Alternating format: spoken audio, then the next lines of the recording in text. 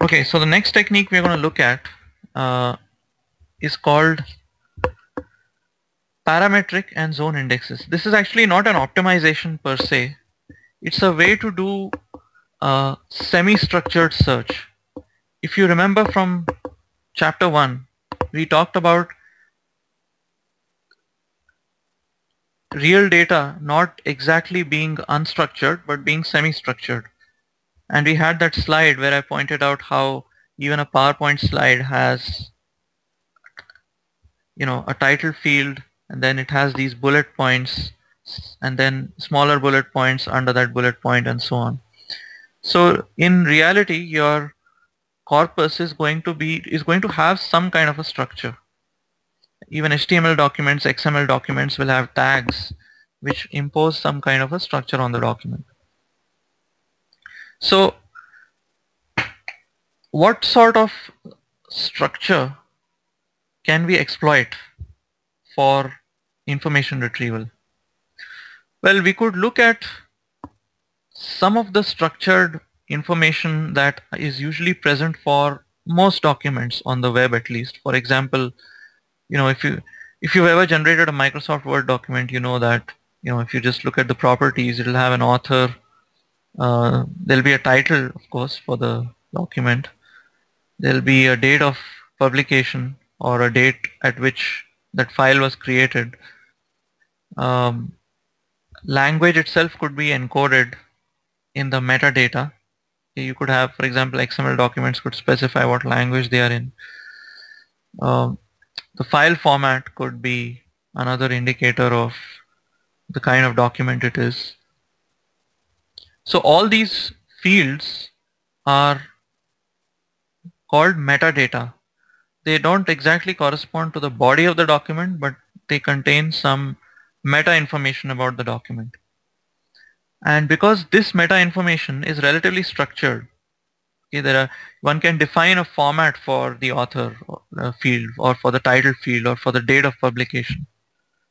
So recall that if your data is structured, then you can do more sophisticated queries on it. So we could create a separate index on each of these fields okay so you you while parsing your um, documents your corpus you could create the standard inverted index as before based on the body of the text that you are parsing in addition to the standard inverted index you could create which is based on the body of the text or the content of the documents you could create separate indexes for these fields. Okay because sometimes a user may want to search for documents based on this metadata information. For example the user may like to have documents that are authored by William Shakespeare in the year 1601 which contain the uh, text alas poor Yorick. Okay so the year of publication 1601 is an example of a metadata field. The author's last name Shakespeare is another example of a metadata field. So in a parametric index or in a field index you would have postings for each field value Okay, so there would be a parametric index for the author field. There would be another parametric index for the title field. There would be another parametric index for the date of publication field and so on. And of course there would be a standard index for the body uh, of, of uh, built on the uh, text contained in the body of the documents. So uh, some of these fields, for example, could be numerical values, in which case you can store them in probably more sophisticated ways. For example, you could um, you could store you could have you could build a dictionary in the form of a B tree like we did for uh, in the chapter on tolerant retrieval okay so if if a user searches for all documents published in the year 1601, 1601 would be a term in the parametric index built on dates. So you would access that term and then from that term in you know from that uh, from the record for that term in the B tree you would then access the postings list which contain all documents published in the year 1601. If I want all documents published in the range 1900 to 1920 I could use the B tree I could collect all the records corresponding to years from 1900 to 1920 which is easy to do in a B tree and then look at the postings list and take the union of all those documents. And of course you can have more complicated AND queries saying that I would like all documents published in the years 1900 to 1920 and authored by uh, Albert Einstein. Okay, so you would then take the list of documents that are generated from the parametric index for the date and then intersect that list with a list of documents generated from the parametric index for the author field. Okay, so you take the intersection of both the uh, resulting postings list and then you'll get all documents authored by Einstein in that uh, between the years 1900 and 1920. Okay, so this is a field index and then you have zone indexes. Okay, a zone is just like a field except that the amount of text that can be contained in a zone can be arbitrarily long. Okay, for example, the title of a document could be arbitrarily long. The abstract of a document of a paper, for example, could be arbitrarily long. In fact, in early days when um, memory was a lot more scarce, what people would do is they would build uh, IR systems not on the full text of the papers, but on the abstracts of the papers. Okay, in fact, that was the original idea of having an abstract for a paper. It was not so that people could read and uh, read a summary of the paper.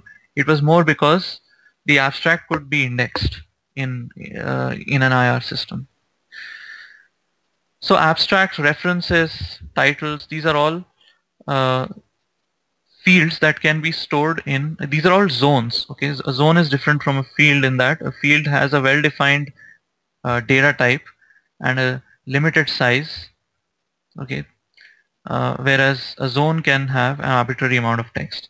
And just like you build parametric indexes on fields, you can build zone indexes on zones. And you can have queries that are more complex than the kind of queries we've been looking at. For example, a query could say find all documents where the title contains the word merchant and the uh, body contains the phrase gentle rain. Okay, so you would have one index for the body, another index for the title zone, you take the documents returned by both indexes and then take their intersection. Okay.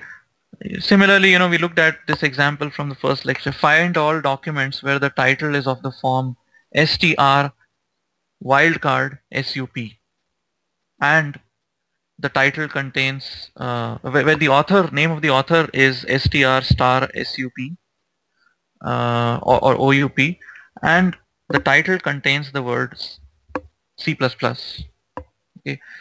So looking at the techniques that you've studied in this course, you should be able to, you know, you should be able to answer how to answer such queries now. Okay, you're going to build a wildcard index just on the names of the authors and then answer the first part of the query. And you can build a normal index on the title and then answer the second part of the query and then take the intersection. Anyway, so we can take a break now. Uh, if you have any questions on the material covered so far, uh, you can ask right now before the break. Otherwise, we'll continue from this point after the break.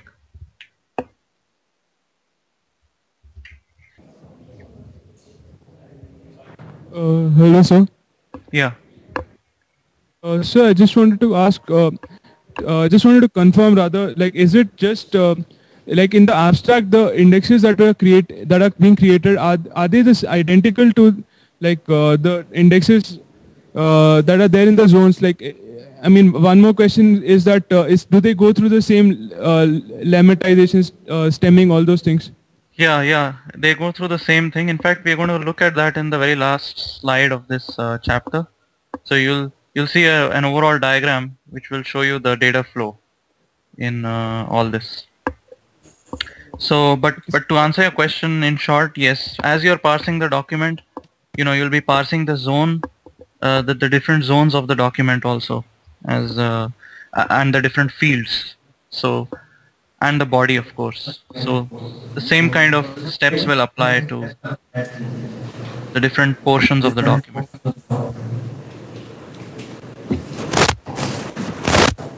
Okay, you could turn off the microphone now so that I can uh, start speaking from the slide that is titled example zone indexes. So if you look at that slide, uh, you will see that there are two different ways that have been shown there on how to implement a zone index. In the top part of the figure, you can see three postings lists. Uh, these are three postings lists for the three terms william.abstract, william.title and william.author. Okay, so abstract, title and author are the zones of the document and william.abstract contains the doc IDs for those documents which contain the word William in the abstract uh, zone of the document. Okay, so earlier if uh, we didn't have, when we didn't have the notion of zones, the postings list for William would contain all the documents that contain the word William in it. But now we are splitting a document into different zones and we are having different uh, postings lists for different zones of the document. So the William.title postings list will contain the documents which have the word William in the title field.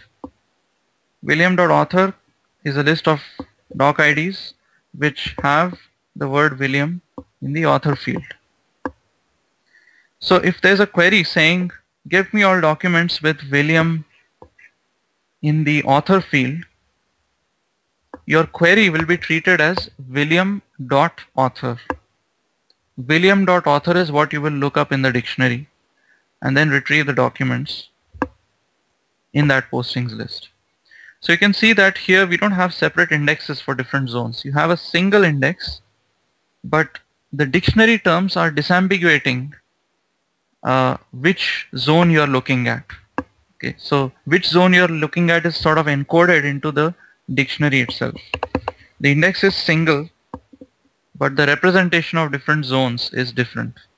Uh, it's, it's separate in the uh, index.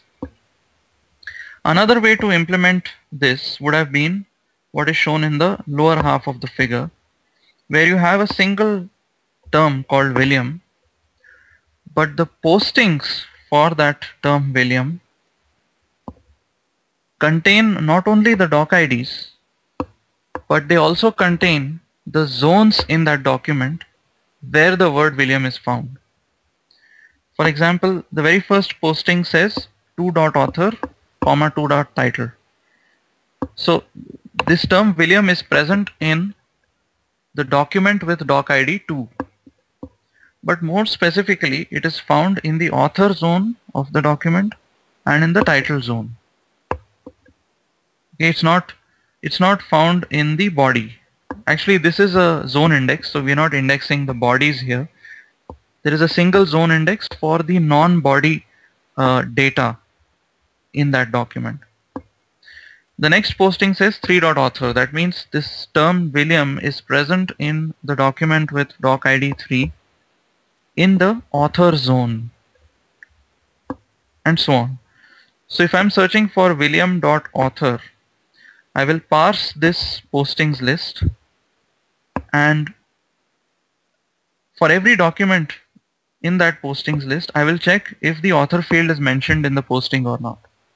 If it is, then I will append that doc ID to the answer list.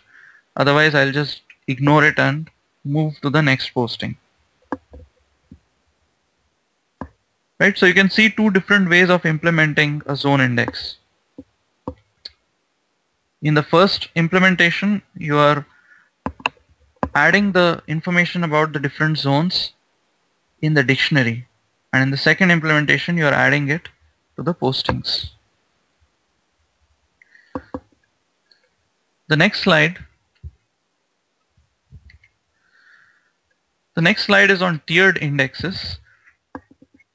This is a generalization of the high and low lists that we saw uh, last time where instead of having a single postings list you're going to have a hierarchy of postings lists from most important to least important. And the importance of a postings list can be measured by something like the authority score of a document. So the documents having the most authority will be in the most important uh, hierarchy list and so on. So your inverted index is effectively split into this a, a, series of tiers of decreasing importance. Each tier corresponding to a postings list of documents in a certain range of importance.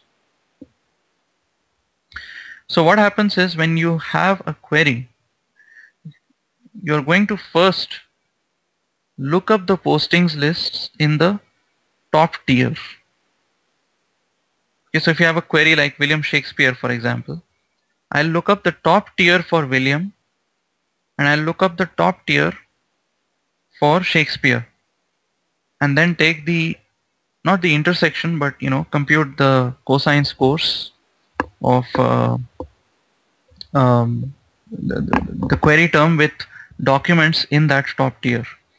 If I get k documents in the result I'll just return them assuming that the documents are sorted in decreasing order of uh, goodness score or authority score I just have to get k results and I can return the k results to the user. But if I don't get if I don't find k documents then I will look up the two terms in the next tier. Okay I will look up the documents that belong to the next tier. So I'll drop to the next lowest tier and then again I'll start parsing the next tier. Um, and then, you know, again, depending on whether I'm not, I'm able to generate a total of k results, I'll either stop there or drop to the next tier and so on. So this is called a tiered index, which an index which has different tiers. And the next slide shows an example of a tiered index.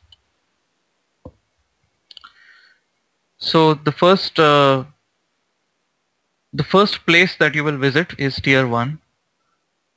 If you get k results in tier 1, you'll return those k results. Otherwise, you'll drop to tier 2.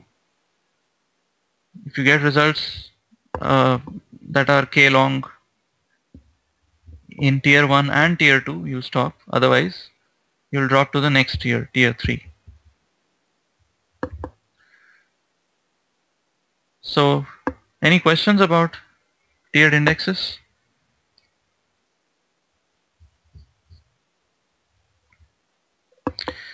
This diagram is a little I mean in this diagram the documents have been placed into tiers not based on their authority score because if they had been placed in the tiers based on the authority score then document 1 would have should have been present entirely in tier 1 right? Because the authority score is purely a function a static function of the documents. But you see that document the posting for document 1 is present in both the you know all the three tiers. That means the way these documents are placed into these three tiers is not based on the uh, authority score. It's probably based on uh, something like term frequency and so on. Okay, so if you have term frequencies, then obviously, you know, uh, it's going to be hard to do a linear time intersection.